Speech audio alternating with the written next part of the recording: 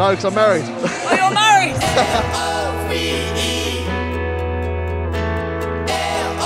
Did any of you find love in Sunny Beach this summer?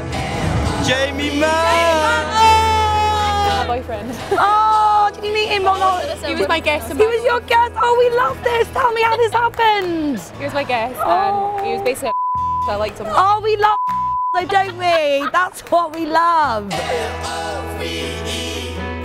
What's it like going, being back together? Did you embrace and kiss each other? Embraced, yeah. Did you? Oh, was there a bit of tongue action? You fell in love. I was Tell me, who do you fall in love with? Who do you fall in love with? No one. Who pulled more chicks? Yeah. Oh, yeah, there's no summer scout Saxon like, do you know what I'm talking about? It was either fitted or like just not fitted. You find love in Kavos? Uh, A little bit. it sunk like the Titanic.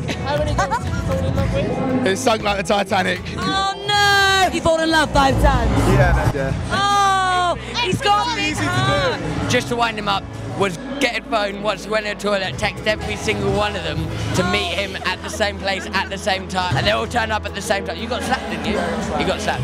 No, my God, that's hilarious. You guys are mean.